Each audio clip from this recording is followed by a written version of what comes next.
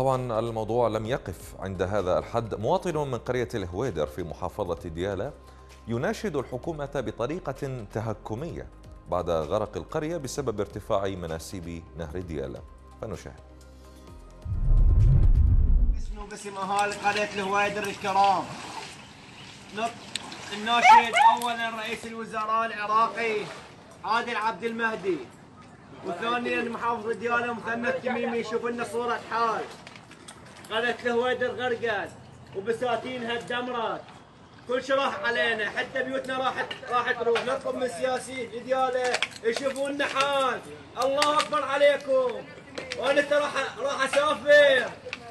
الله يوفقكم حط علي جوب غير محافظة. بالسلامة بالسلامة.